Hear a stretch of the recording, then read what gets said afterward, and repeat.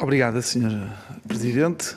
Queria cumprimentar o Dr. Paulo Santos, aqui enquanto representante do Colégio da Especialidade de Medicina Geral Familiar, e dizer-lhe, doutor, que o PSC de facto está preocupado com a afluência das medidas às urgências, mas também está de facto preocupado eh, como é que o Partido Socialista eh, só acordou para o problema agora, desde que, porque já governa há sete anos. Uh, além de, de, na intervenção dos seus deputados do Partido Socialista, estarem constantemente a tentar branquear aquilo que têm sido as decisões erradas, a falta de estratégia de planeamento para a saúde, e ainda tentarem silenciar quem, toca, quem coloca o dedo na ferida. Ou seja, se, se, fugirmos um bocadinho do politicamente correto e se dissermos aquilo que está mal, começam-nos a interromper. E, portanto, uh, eu tento sempre que estas audições, temo, temo sinceramente que estas audições sejam inconsequentes por causa disso, porque às vezes custa ouvir a verdade e, e de não se tirarem delas eh, o sumo e as recomendações concretas para a melhoria do, do sistema de saúde. E, para que isto não seja um, um simples exercício de mise-en-scène política que o Partido Socialista aqui trouxe hoje, eu queria ouvir uh, o doutor, enquanto representante uh, base, da base do acesso aos cuidados, os cuidados de saúde primários, uma vez que já ouvimos aqui também o Colégio da Pediatria, o Colégio da Medicina Interna, naquela que são as suas, uh, nas suas uh, observações e nas suas prioridades.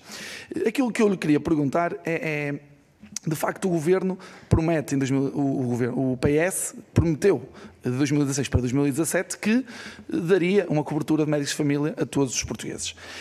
A minha questão é simples, eh, isso não se cumpriu, há um milhão e meio de portugueses que não têm médico de família. Eh, o Colégio da Especialidade foi envolvido ou está a ser envolvido para o desenho de políticas eh, que permitam atingir esta meta? O que é que falta cumprir na ótica do, do Colégio da Especialidade para se cumprir com esta, com esta promessa, que não é só uma promessa eleitoral, isto é uma promessa que é uma promessa que, que, é basilar eh, para a saúde dos portugueses. Essa cobertura eh, é, no nosso entender, de facto, eh, o garante de, de um acesso, de um acesso igualitário e justo aos, aos doentes. Outra questão que surgiu também no âmbito da, da, discussão que já tivemos hoje, porque da medicina interna percebemos que há, de facto, uma uma prioridade em se resolver os problemas a montante da urgência, ou seja, tirar os doentes da urgência seria uma prioridade.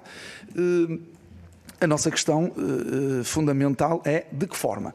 E, e, tem sido amplamente debatido, tem havido diversos fóruns, diversas, diversas conferências que debatem os temas da urgência, mas de facto há aqui uma medida que, que os colegas da, da medicina interna trouxeram que me parece ser, ser ser importante questionar.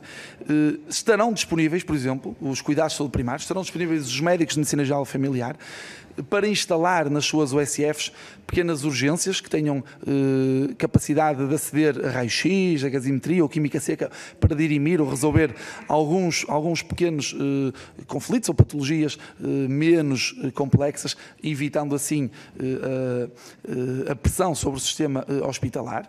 Estarão ou não disponíveis, porque isso é uma, uma discussão ampla entre, entre, entre os pares. que outras soluções o colégio apresentaria eh, para se poder tentar minorar este problema.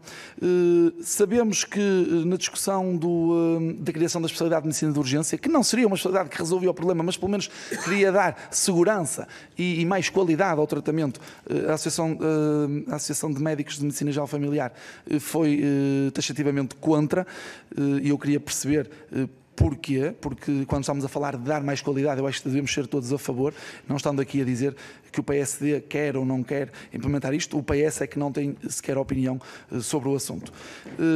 Seu deputado, quatro minutos. Obrigado.